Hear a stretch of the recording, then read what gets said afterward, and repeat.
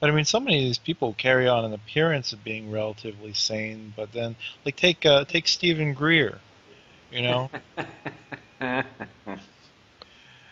He'd get the, Yeah, he's a classic case. Oh yeah. Well, what have you heard about him? Well, I've seen the guy uh, in clips and heard him interviewed, and of course have read all the countless things written about him that uh, discusses flamboyant behavior.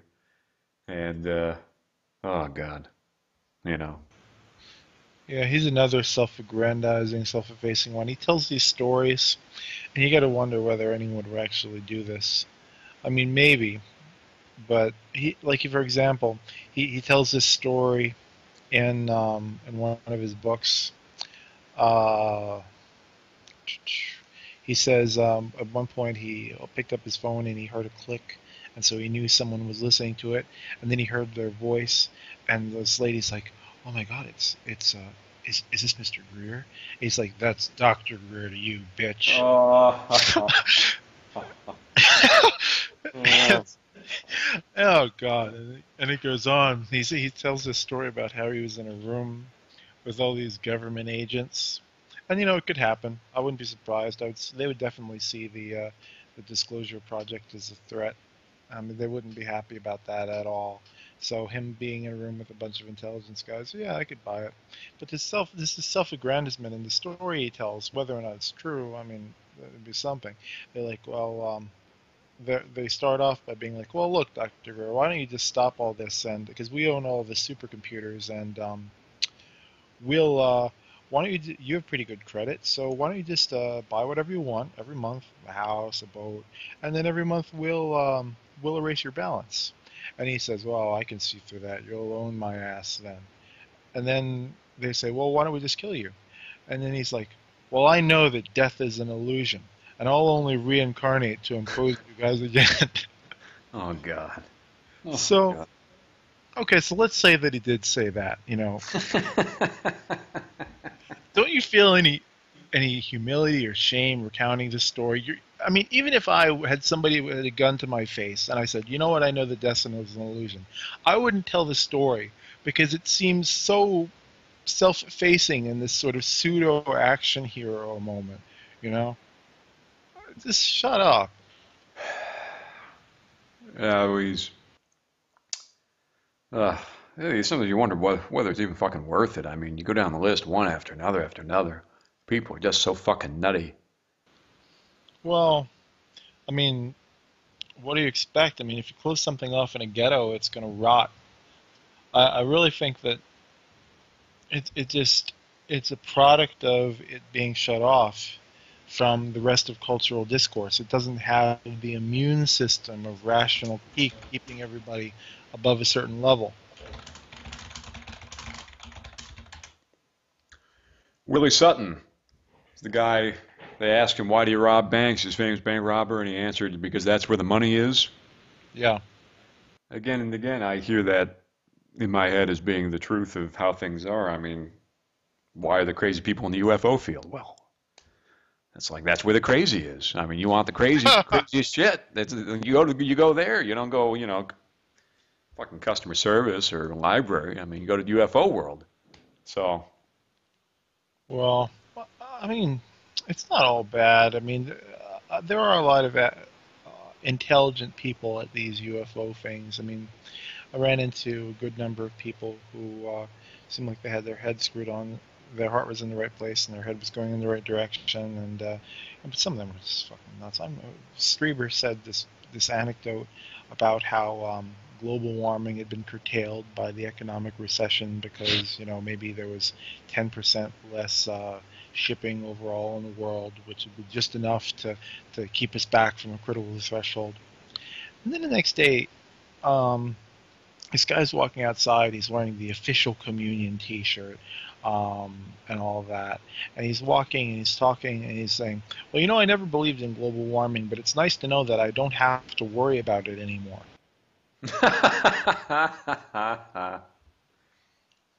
So, uh, Jesus. There it is, mission accomplished. Well, yeah, there you go.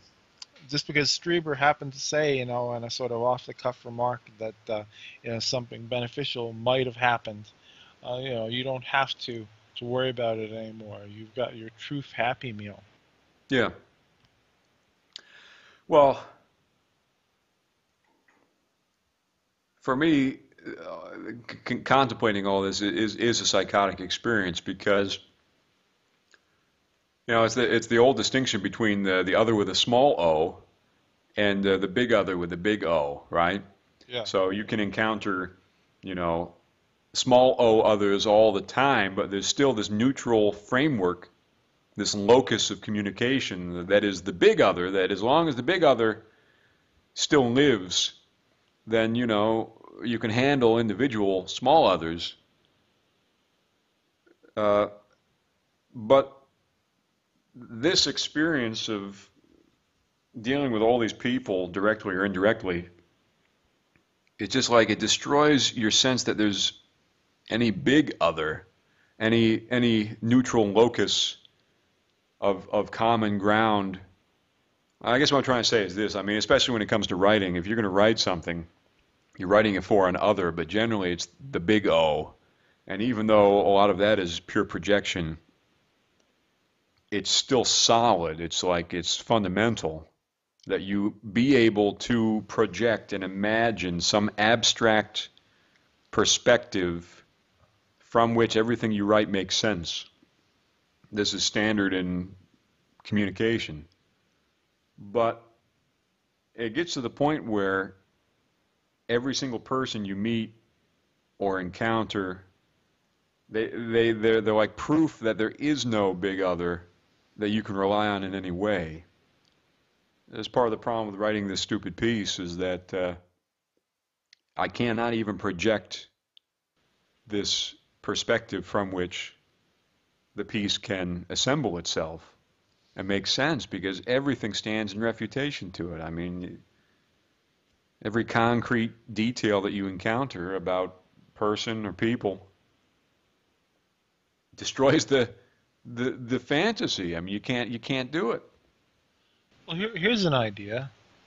Um, here's another idea. So far, I've gotten I've put two, forth two concrete suggestions. One is like dealing with it in somewhat in a ultra concise, logical form. Two is um, organizing it under the premise that um, you know Kephas is giving people a pseudo-rational demonstration to pander to their uh, prejudices. Three do what Kephas did. Now this is disingenuous, uh, but maybe, maybe not, depending on how it's employed. Just go ahead and talk past people, and then they'll actually respect it. Write for a pretend academic audience with all the the, the, the paraphernalia and, and uh, you know uh, you know rigmarole of that. Just talk straight past people. Pretend that it's an academic article and write it and frame it as such and then they'll respect it because you're you're not talking to them, you're talking about them. That's what they like about Kephas. Yeah, no, you're absolutely right. I mean, the thought of that crossed my mind, but it's a kind of catch-22. You have to. It's not something you can really consciously undertake. You have to be able to unconsciously um, begin that task in order for it to work.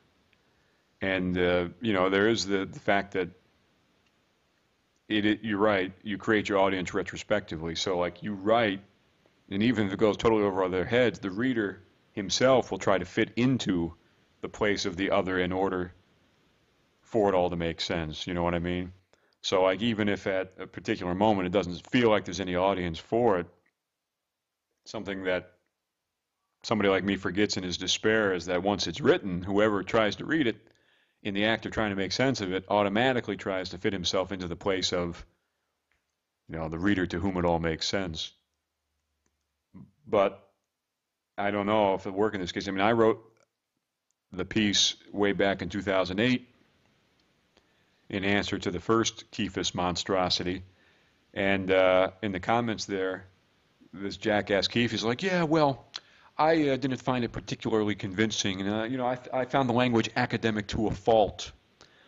So I, you know, the other day I went back and I'm reading this thing. I'm like, holy shit, this is actually it seems to me, fairly uh, approachable as prose.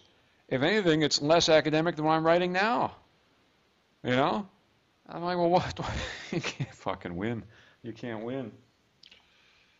I don't know. Well, I mean, all of this is, you know, pretty much is part of the background motivation for doing taking the approach I'm taking and trying to to edge out a, more meaningful community with this stuff because I feel like the paranormal is such a roach trap. It's it's it's literally like putting up a sign that says oh I don't know whatever whatever would draw really crazy disreputable people um, but by creating a a community of that talks about this stuff on a philosophical basis, but is invitation only, and where every person can only even invite someone if they, you know, have the approval of the two people above them.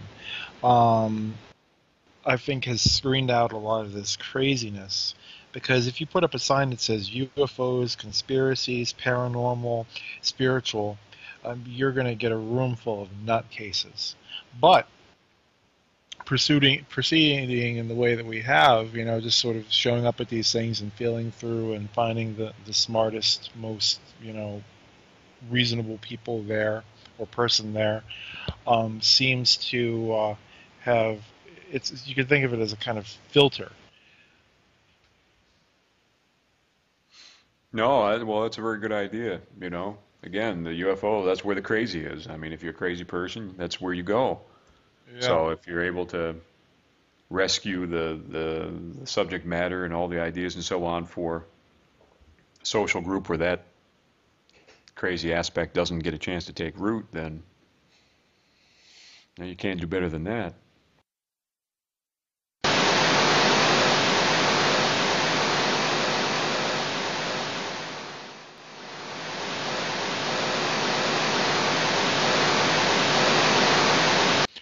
Well, I think so. Yeah. What's hilarious is that Kephas always used to talk about his program as being for the people who are already awake. You know, he said that he wasn't dealing with the people who uh, questioned the whether or not these realities were the case, and that's what uh, Dreamland purports to be as well. Um, and so we have these three various uh, exemplars of um, how to address the community of uh, the initiated, so to speak. Yeah, well, all of that's quasi-religious. I mean, think of it. I mean, the initiates, the uh, the guru, the leader. You know, I mean, it's a joke, and I don't care how ironic you be about it. I mean, that little clip of Kephas where he's interviewing himself. I mean, on the one hand, it's a nice little bit of postmodern artistry. You know, it's a kind of sick and disturbing. So the clip where he interviews himself, it shows that he's aware that he's psychotic so okay, you can give him the kudos for that, but you've got the idiot interviewer. You know how well is being a you know how well has being a guru uh, been for you? You know how how what's it done for you? You know, and he keeps repeating the word guru. But the fact is, Kephas sets himself up like a guru. There's no there's no question to to the extent that you let yourself become known, your identity become known. You sit there and dispense truths and all this kind of shit, and you know have any interest in your followers whatsoever, it's inevitable. So just being sarcastic about it in a YouTube clip doesn't remove your culpability. I don't know if that was sarcasm. I think that was sincere. Is that did that clip come out of um, an episode of his show from a couple years back?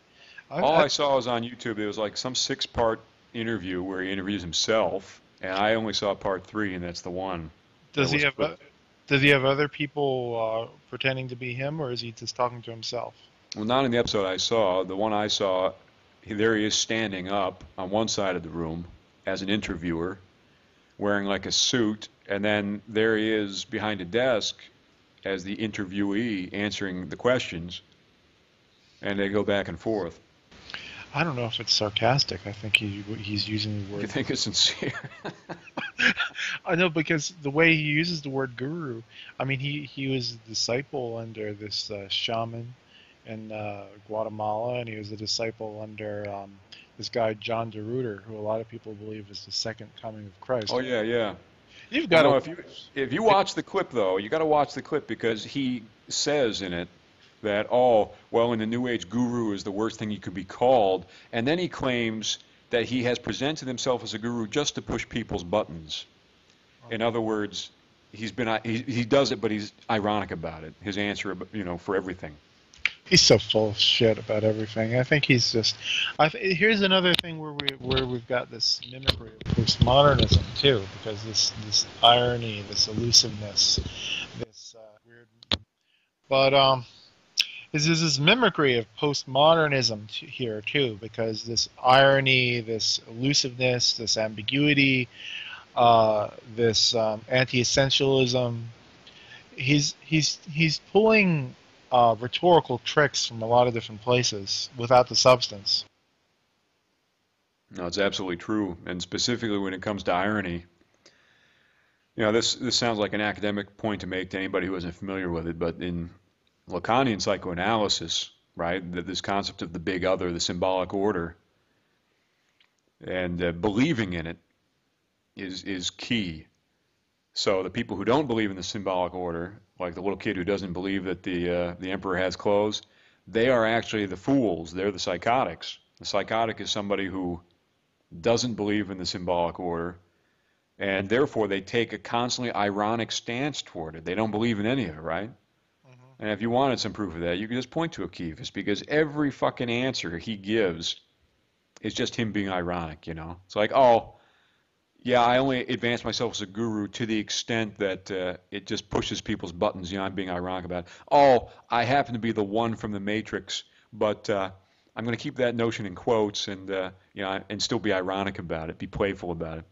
Is what you are. What you are is batshit crazy, and you're using that little gap of irony, that little self-distancing to pretend, and you're calling that introspection. You know, and like a normal person who's not insane that gap that they have is that is called themselves. They, the gap from themselves is the little space within which they can think and maneuver.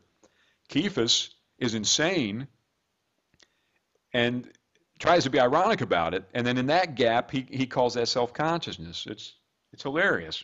You know, it's amazing. It reminds me of my mother. She uh, she was totally out of her fucking mind. I mean, she was the craziest person I've ever met. She's the craziest person anyone who's ever met her has ever met. I mean, this is a lady who, um, you know, everything was either like a, a paranoid statement, uh, a, a, a, perverse joke, a piece of sexual advice, or an invitation to become a born again Christian. Um, and uh, she um, she she was convinced that for years she she was getting uh, disability for um, for her for her uh, mental state, and um, she was convinced that she was tricking the government into believing that she was insane by acting crazy. and so it, it's it's completely the same.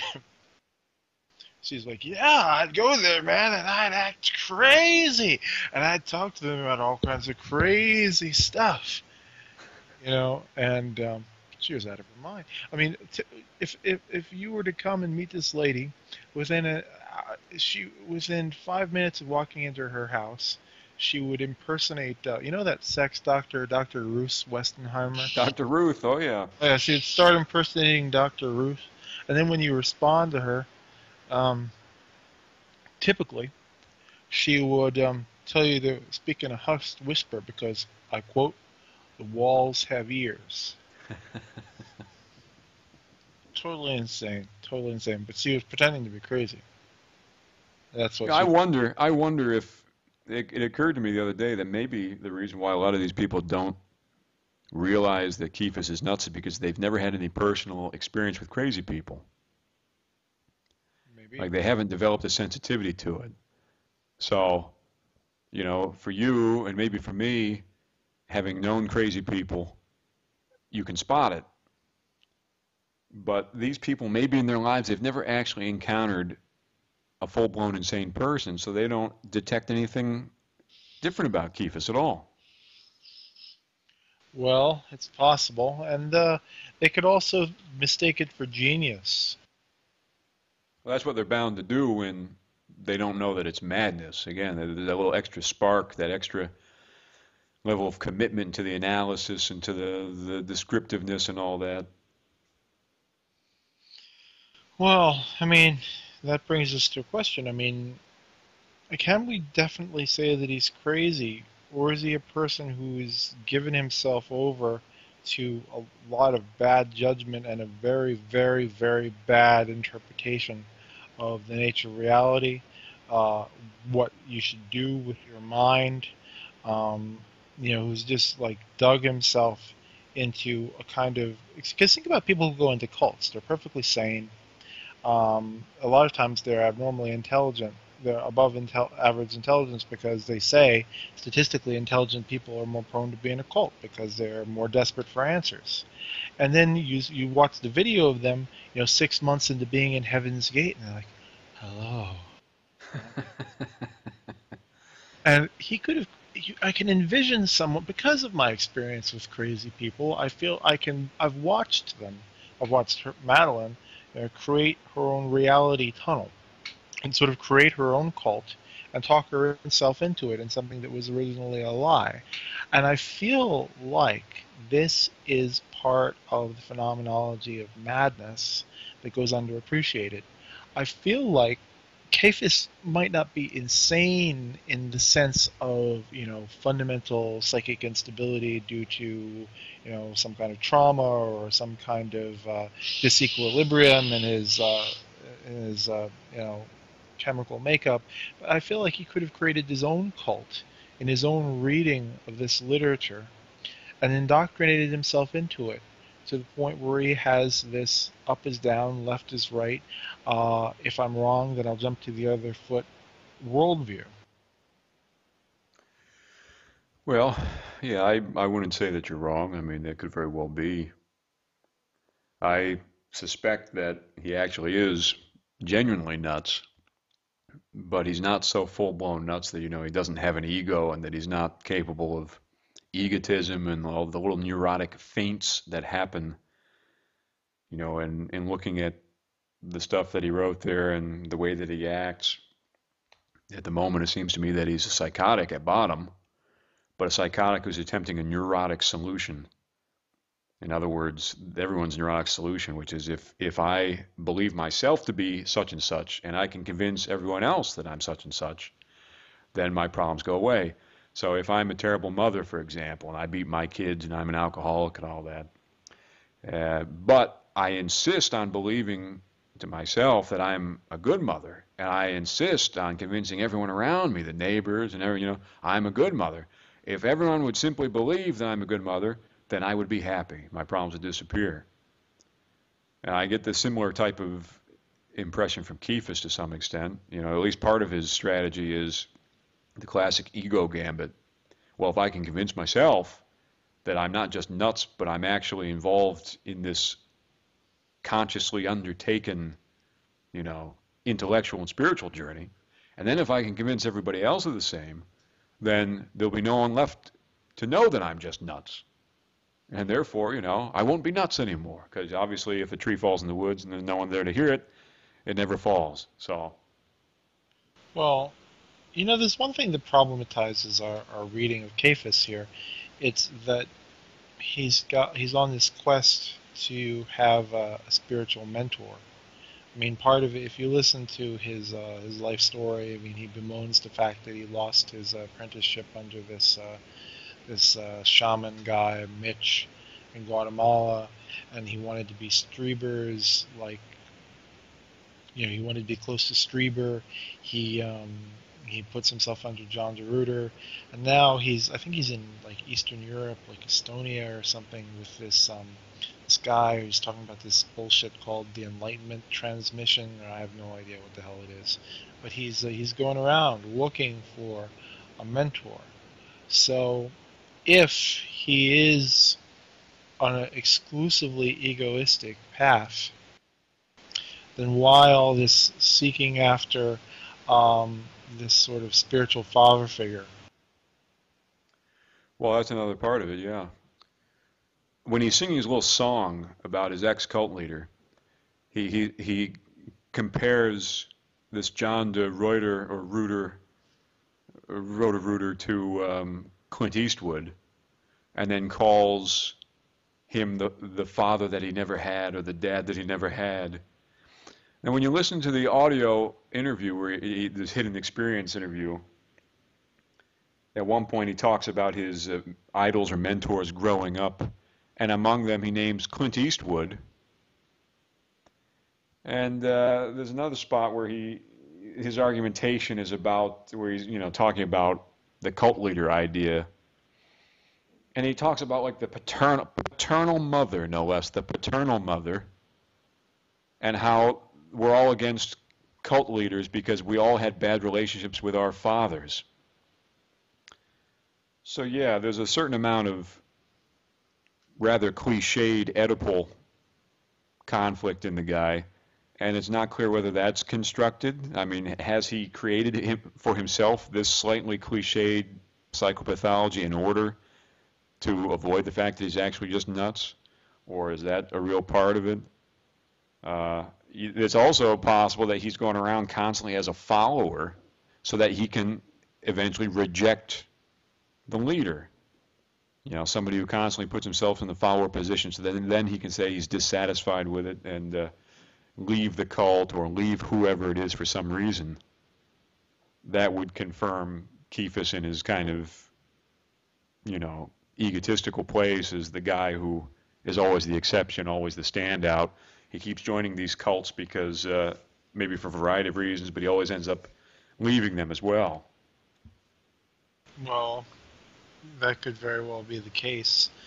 Uh, it seemed like he had he had a sincere desire to be like the first disciple of this de Ruiter guy. You've got to watch these clips of de Ruiter. He he's just such a he's a total he's either a total lunatic or a self-conscious con man. But the guy sits there and he talks maybe you know a couple words a minute, like the feeling, being, that is, that is knowing is asking you A fucking lunatic. yeah, it's just it's like a Rorschach test of meaning because what he's saying is so incoherent and circular. See, I I accept the uh, the evidence that you cited of you know cult followers t- being typically more intelligent, maybe when it comes to IQ or that sort of thing. But for me, like the the basic threshold of intelligence is whether you would join a cult or not. I mean, as soon as you join a cult, to me, you've demonstrated you have zero intelligence. Maybe that's just a backward redneck view of what intelligence is. But you know, hearing that Kephas could join a cult indicates to me that zero of what he has to say is of value, and zero people should be listening to the fucking guy.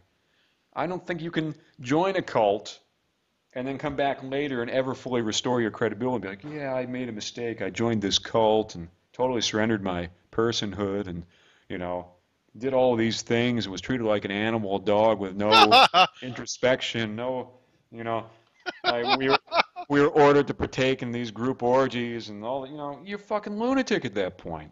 Well, you know what though? I, I think I mean, I grew up in a cult because born again Christianity is basically a cult. If you want a perfect image, if you want a perfect image of my circumstances growing up, watch the movie Jesus Camp. Or if you don't want to sit through it, watch the trailers because that's exactly what it was like. I grew up in a cult, so I feel like I can I, I have some understanding. I think the problem with being in a cult is it's not a, just one step over this line. Being in a cult is kind of like um, kind of like ending up having sex with somebody. You know, you're walking along. They first, okay, we're hanging out. We're hanging out. We're friends. Okay, we're hanging out. Oh, wait a minute. Um, you know, uh, she, she's uh, she's holding my hand. She's holding my hand. Oh, look at that. Oh, you, you want coffee in my house? You want coffee in my house? Okay, yeah, sure. Oh, oh, look, we're we're doing this now, and it's like it's this incremental thing that it's never announced that this is the direction that we're going in. You know, it's this. It's like people pushing a Ouija board you know what I mean? And people yeah. don't know what what they're getting into.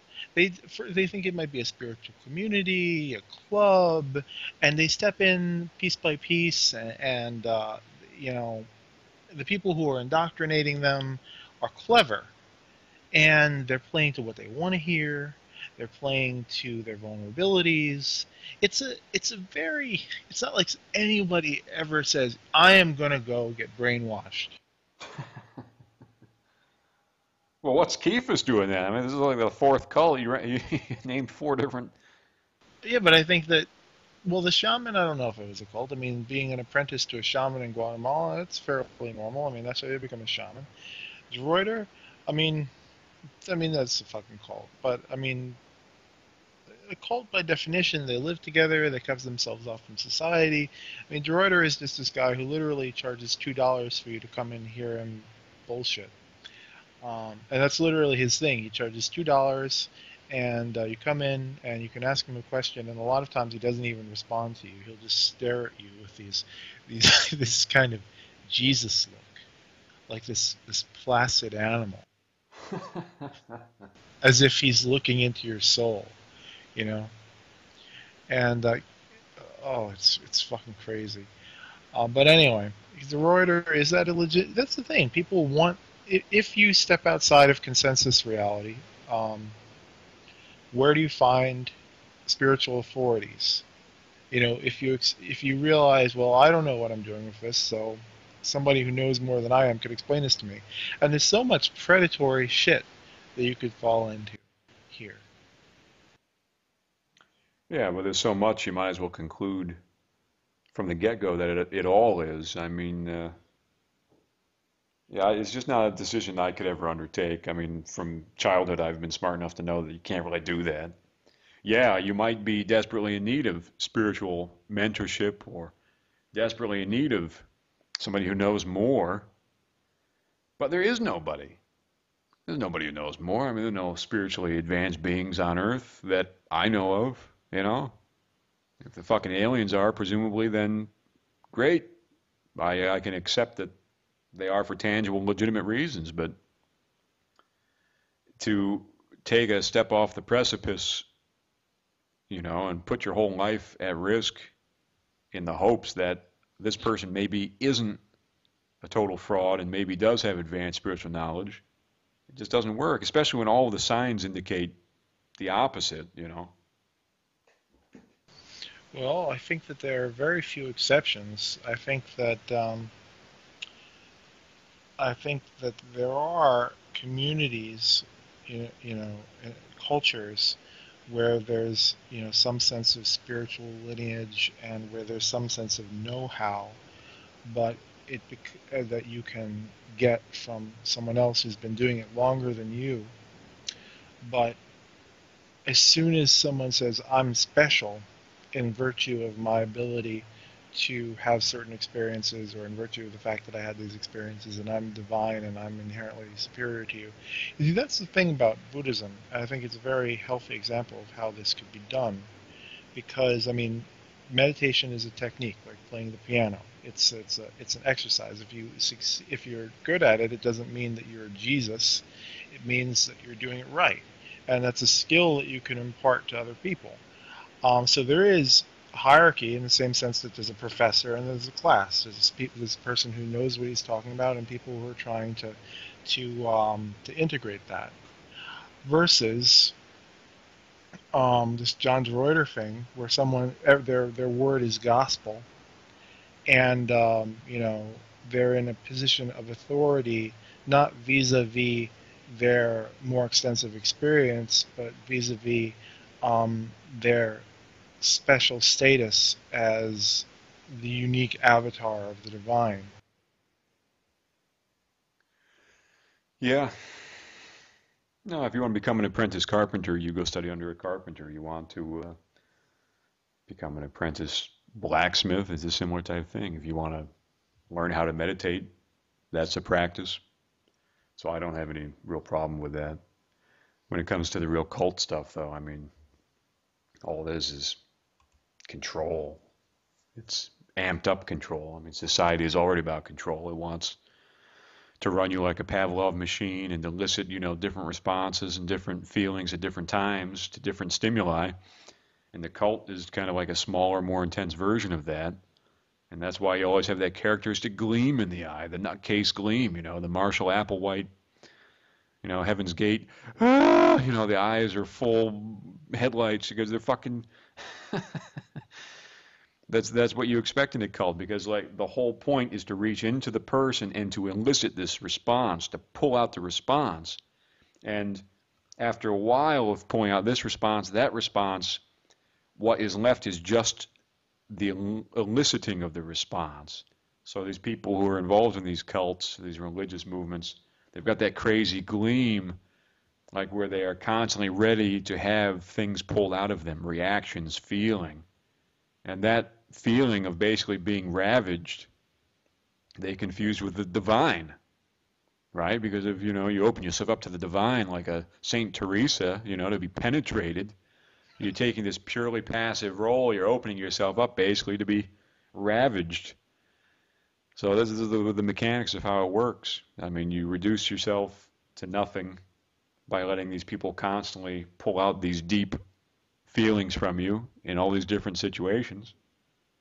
And then all that's left is the whole after a certain point but that which renders you basically a husk of a person, and you, that passivity of being a husk you confuse with being open to God, and then you know now the the play is complete. it's, it's a grim cycle. Reminds me of people who are in prison and how they don't know how to function when they get out, and sometimes all they want to do is get back into prison because the structure becomes the only way that they can deal with reality. Well, yeah, uh, there's overlap there, if you think about it, because of the, the habit forming nature of being in a cult or one of these communities, where first you're trained, you know, to have this reaction to this stimuli, this reaction to this situation. And once you've got the pattern down, in a way that's comforting to, to some people because they know now there are going to be no surprises, you know, they know how to get by. It's the same with jail. I mean, you come out, there's no more structure. I think it illuminates something about human psychology. I feel like, you know, watching cult dynamics for, you know, you know, a good period of time growing up, it's you can see ideology unfolding in action. You could see a shift as people gradually adopt more and more of the propositions that make up this ideology and there's this there's this intermediate there's a state there's a state of uh, curiosity and then there seems to be a state of assimilation and then there's a state of like conformity and immersion. But getting out of it if you talk to these people it's like they have to go through the same cycle again. It's like curiosity about whether they might be wrong assimilate there's this period where the cult ideology and the real world uh, framework are sort of fighting against each other, and the cult is ideas are trying to assimilate the real world negative data into it. You know, it will either be assimilated and accounted for on the basis of the cult belief system, or it'll be undermined. Or the cult ideas will be assimilated and undermined in the competing real world ideology. And uh, I don't know, Just sort of watching that unfold or getting the opportunity to watch it unfold um, has been instructive. You you see more about human nature when it comes to the, this cult phenomenon than you see when somebody's walking a dog, for example, or, or something else like that, or even joining a political party, because everything is so concentrated and amped up. But you think about how religions have operated for thousands of years and um, what anthropological or even evolutionary basis it must have, given that it's gone on for so long. I mean, religious following in the West is no longer as vivid as you know used to be. That's what the cults are for now. But it used to be religious experience in the West was just as crazy and as manic and as vivid to the to the psyche, you know. Sure. I mean, these Christians, uh, they're not gonna. I mean, you you quoted uh, you quoted Nietzsche in your thing about like if they still had the courage of their convictions, they'd be burning people. But also, if they had the courage of their convictions, they'd be getting fed to lions. You know, um, th- that's a kind of crazy zeal that these people come and well, I don't know, these born agains, they're nuts. That, those are kind of like cults. They're like small scale. But uh, I mean, there's a kind of Christianity that's this sort of dead formality. Because I've, I've been to Methodist churches and uh, Catholic churches, you know, and there it's just like you know we're gonna file in line and we're gonna sit in this thing because God says so, and we're gonna say these words that we don't understand, and the cult fervor is dead. But in the evangelical born again world, it's a total living, thriving, mind control, zealotry cult. Yeah. Well, I think that the point, I think the thing that uh, that allows us to see is is not that humans are weak, because that's the typical conclusion. People go, "Oh, human beings are weak and pathetic," and cults just prove that people are weak and pathetic. I think it, the point that should be made about it is that it, it tells us something about human identity more basically. And, and the point is not that human identity is weak and pathetic, but that to the extent that we're all outside of ourselves, you know, that we all exist in this uh, relational system of knowledge and intellect and self-relating, the, the, the extent that we have to give up real pure substance in order to even have any self-identity, there's a sense of emptiness and loss and even fragility that well, more uncertainty. More that's really more than anything uncertainty. That's the thing. I mean, the psychotic has certainty. The psychotic knows something absolutely for sure. But the person who's not psychotic never knows for sure because they're always caught up in the web of knowledge and they're always relating the knowledge to itself and nothing is fixed and nothing is unmoving. So, I mean, that creates a kind of wariness and uncertainty inside of people and I think they submit to the firm hand of the cult in the same way they submit to like a fascist government.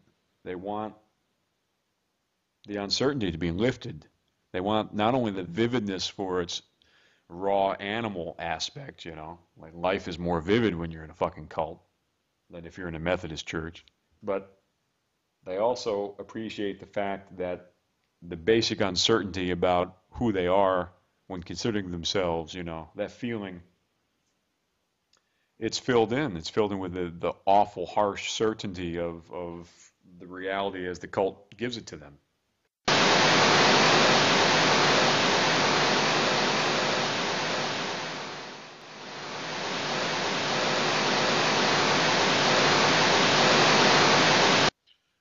Yeah, I mean, it's back to the Happy Meal. It's, uh, a concise, contained reality pill.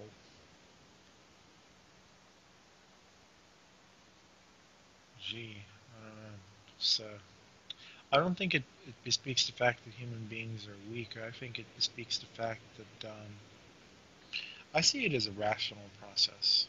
I literally see it as um, not exclusively driven by emotions and affiliation and identification and authority, but I think that people are literally being given a kind of argument. You know, God is real.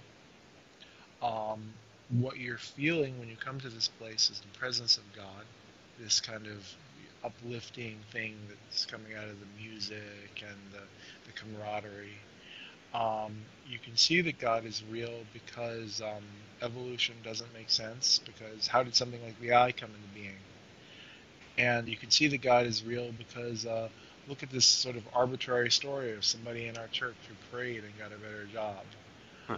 Um, and there is a set of propositions to which people accede. Now, because they're not sufficiently rigorous they get sold a faulty argument.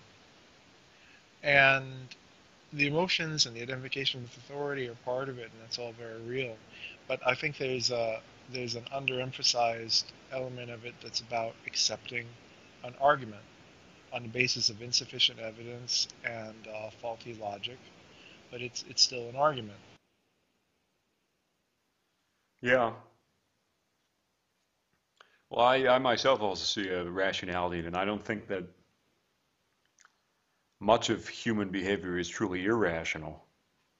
But oftentimes the uh, the public space of reasons, you know, the reasons that you can give or that even occur to you as being possible to give, they aren't encompassing enough in scope. Uh, there are people who join cults and uh, do all sorts of things for all sorts of reasonable reasons that simply can't be articulated in discourse because even human discourse, human communication, to me, seems to me to belong to the uh, to the realm of war. I mean, I think people talk in order to uh, make war on each other. Basically, there's a constant conflict and strife and war over who they are, who the other person is. And uh, there are plenty of, of decisions that are made behind the scenes and underneath you know, uh, at a lower level in the person that obey a kind of logic that simply can't even be articulated. There's a there's a disconnect even in the person being able to present to themselves the logic or the reasonableness or the appropriateness of their own decisions because, you know, it's not something that is permissible when it comes to them self-representing, them staging for themselves during their own introspections what they are and what they're not. Well, I mean, I don't think that the logic of it is in principle inaccessible to introspection. I think that if people are able to have some level of searing self-honesty, they can see the reasons for which they did this. You know, they if they look nakedly enough I mean, it might require some kind of jarring reorientation. It might re require the intervention of the suggestive remarks of a therapist. It might require some kind of life-changing event, something to somehow recontextualize the recursive internal monologue that they just sort of habitually follow, like an old xylophone recording. Not a xylophone, but it was, uh, you know, the gramophone. Gramophone, yeah, right, of course like his gramophone playing around. Well, our thoughts are like that. Most of the thoughts we have on any given day are the same, are 90% the same as the thoughts we had the day before. They just go around and around. And um, I mean, if you try to meditate for any extensive period of time, uh, I mean, that's something you get acquainted with very early on before you uh, learn to, to slow that down or stop it but I mean, you really get a, a, a, front row seat for how the mind is just doing its thing. And even if your conscious intention is to stop, it's just running on fumes, it's running on its own momentum and turning around. And usually it just follows this self reinforcing loop um, until it gets back to the point of origin and it goes around again. And there are epicycles within that, but it's just running on its own momentum. And in order for people to question the contents of that cycle, they are, there needs to be some kind of bifurcation. That could come about through their own introspection, uh, but it could come about through mystical experience. It could come about through life-altering event, you know, whatever. But um, when the cycle is broken, um, then they have the opportunity to reevaluate. Um, and most of the time, they don't take it. Well, no, because why? Why even? Why make any changes for the sake of truth? I mean, where does truth enter the equation? And what the hell is truth? I mean, do people even have a notion of truth? I mean, well, there you go. I mean, truth is a kind of limiting factor, but um, many, many, many people don't experience it as such. Not at the level of self-identity they might, um, you know, if they're hungry for a pizza and there's no pizza in the house, they might experience that as a limitation. And therefore, the factual truth of the statement that there's no pizza in the house, you know, That's the extent of it. When it comes to individual propositions, they experience truthfulness as a kind of limitation. But when it comes to broader questions of self identity or anything like that, they've never developed any instinct or any talent for limiting their own overall direction, the way that they depict themselves to themselves, the way they feel about themselves, their general sense of who they are. That's never met any kind of limiting factor or any kind of external limitation. So that's why, for a lot of people, you know, especially stupid people, truth will exist at the level of factual accounting. But as soon as you get beyond that, as soon as you zoom out to anything further, forget about it. It's just purely arbitrary. They think whatever they want about themselves. Well, I think part of the problem is that people fail to make a distinction that, that was made very on, early on in the course of uh, Western philosophy. That's the distinction between the good, the true, and the beautiful. People conflate the true with the good or the beautiful. They're not able to distinguish what is true from what is desirable in either of the other senses. And you know, they they're they're compelled to view as true what they would like to be true, or what it would be nice if it were true, or what it would be beneficial if it were true. But they're not looking at truths under this sort of purely epistemological lens and it and you can see it like you can see like in the fact that this phrase i don't know who said it uh, goodness is truth truth beauty uh, that is all you know on earth and all you need to know Oh yeah, yeah.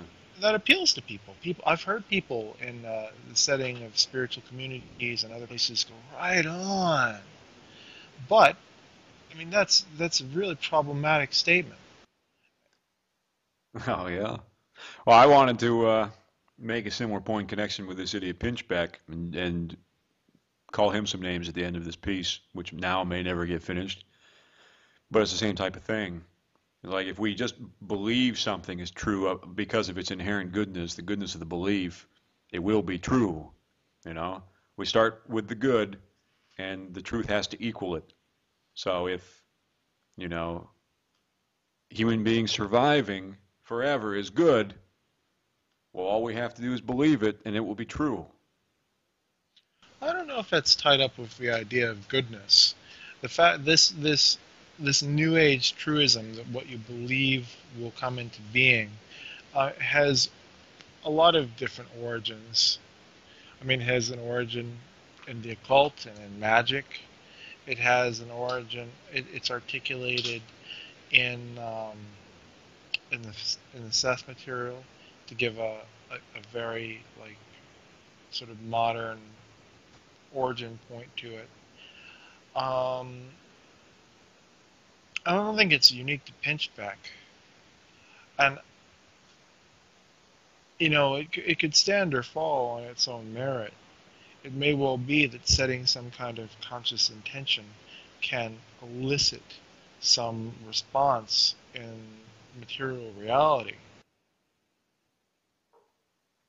Well, it doesn't have to be unique to Pinchbeck. The point that I would make in connection with what he seems to be for, you know, in the context of that so-called Strieber debate, which should be called the Strieber spat, you know, is that he starts off with a position which is quote unquote good. It's deemed good, just like the housewife who insists that she's caring, loving mother, not an alcoholic, all that shit, because obviously being a good, caring mother and not an alcoholic, all that's good, right? It fits with the image, the good image, the preferred, desired image. And so, because truth is assumed to be equivalent, therefore it's true. You know, because uh, human beings uh, not going extinct anytime soon is desired state of affairs, it is therefore good. And because it's good, well, therefore it's also true. And uh, the the methodology of making it true through the positive thinking and all that afterward, that's a subsequent step. But just insisting that something is so because it ought to be so, and doing that in this kind of self-referential loop that you know can't be refuted. I think there's plenty of that in the uh, the little Pinchbeck position. Oh, it's very dangerous. There's no question about that.